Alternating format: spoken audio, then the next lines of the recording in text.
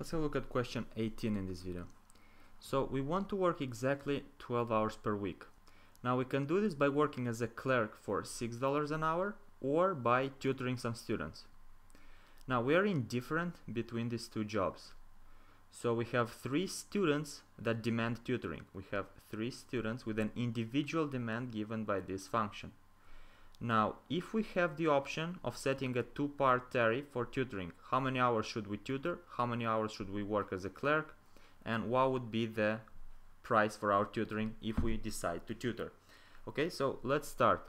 We have two options here. We have working as a clerk, so we have quantity of hour working as a clerk plus quantity of hours working as a tutor, and in total we must have 12 hours.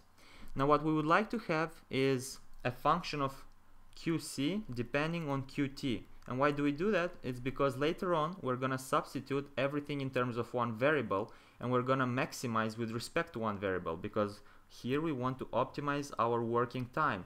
So for that we're going to use derivatives. Okay, let's zoom out to get some more space and keep going.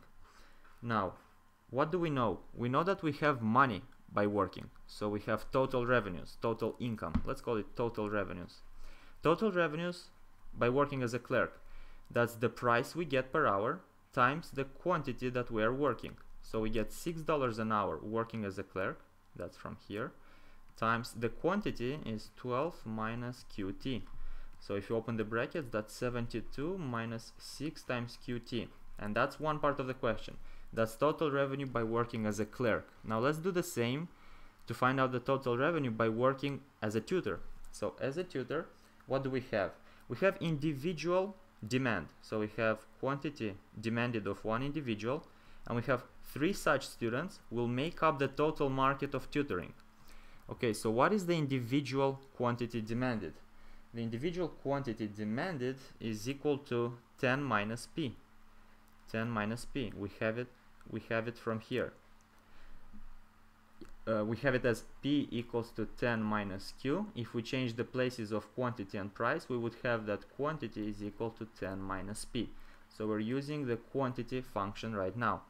10 minus p times 3 is equal to the total quantity of tutoring. Now, what do we do next? Let's see.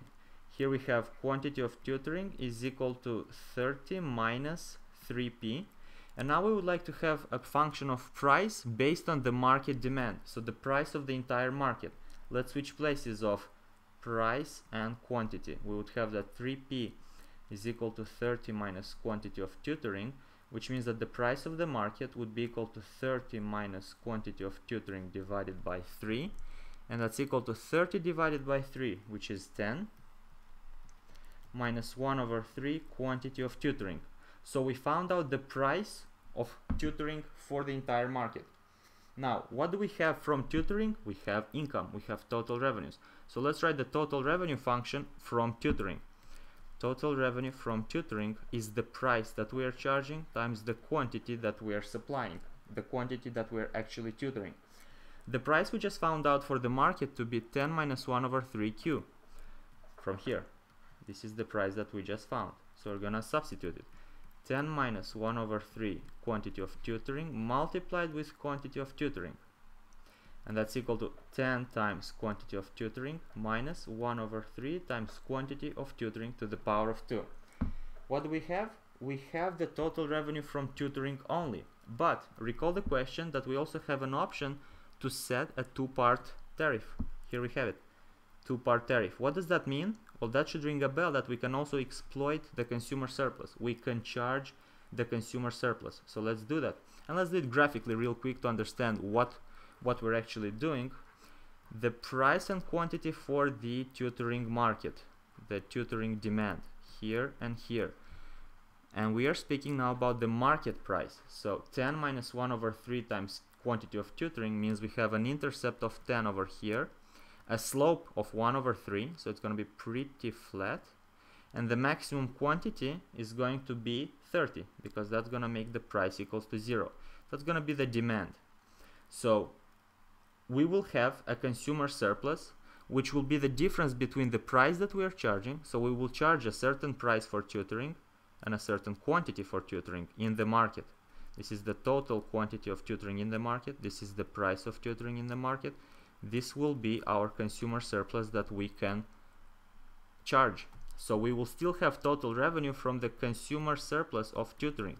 And the consumer surplus of tutoring is the area of a triangle which is 1 over 2 times the height which is 10 minus the price of tutoring multiplied with the width which is the quantity of tutoring. Now what is consumer surplus if we expand it well we already know the price of tutoring. We already know the price of tutoring from here. So we're gonna substitute it.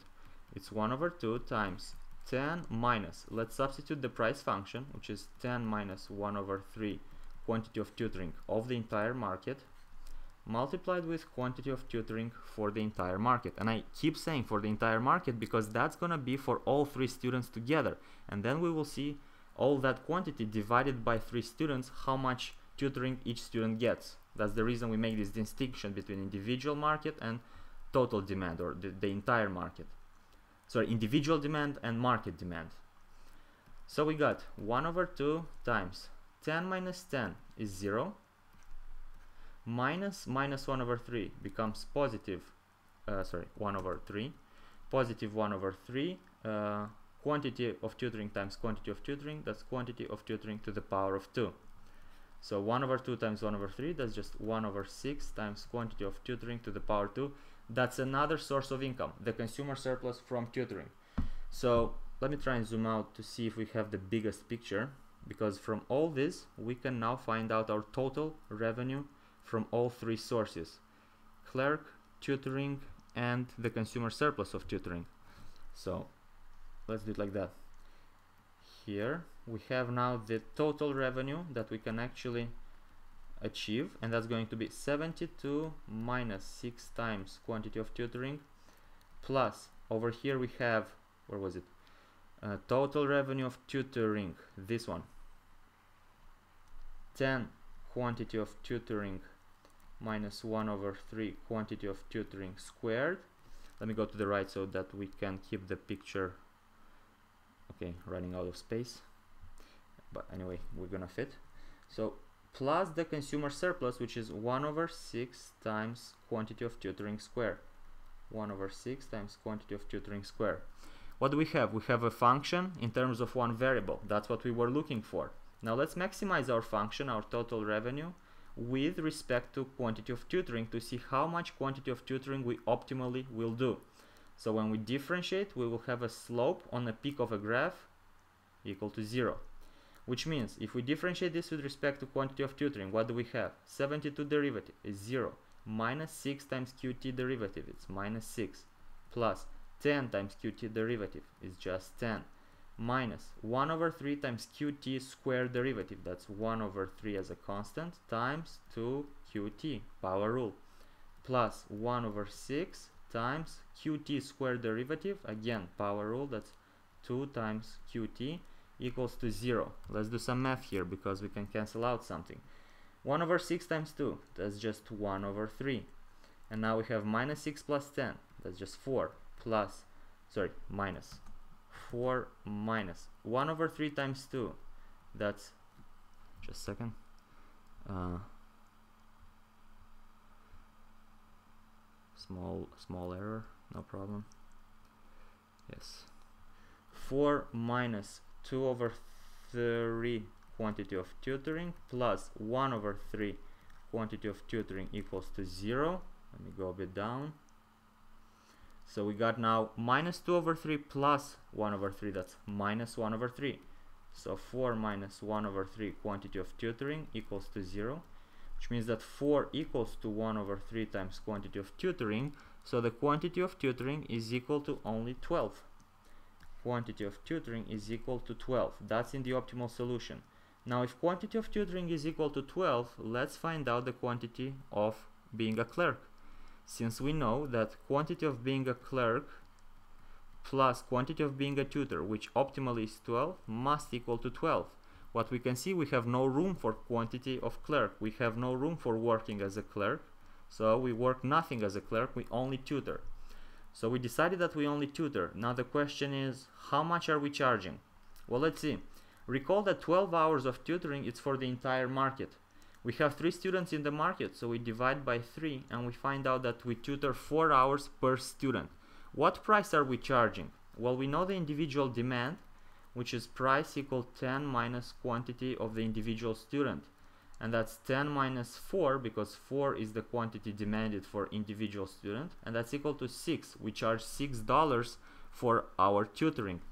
So we charge six dollars per hour. Now if we draw it on a graph to see what the consumer surplus is and we draw now the individual demand which is 10 minus q. So we have 10 here a slope of negative 1 this is going to be our demand. And we have the price equals to 6 so the price equals to 6 would be over here.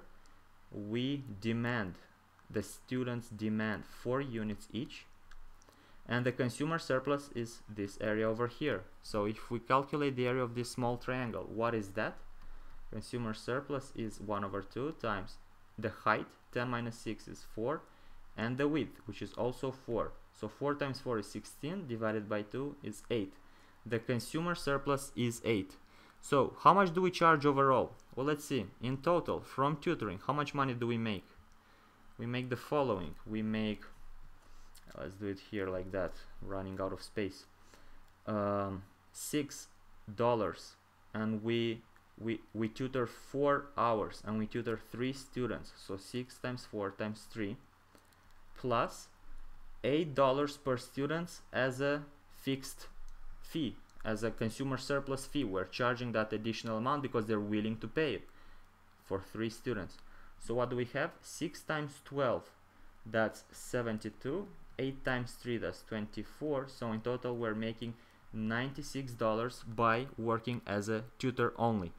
Now if we would work only as a clerk suppose we would have worked as a clerk 12 hours we would have made 6 times 12 and that would have equaled $72 as a clerk. So clearly this option by focusing on tutoring and also charging the consumer surplus is a better option. We just proved it with math with differentiating and we are done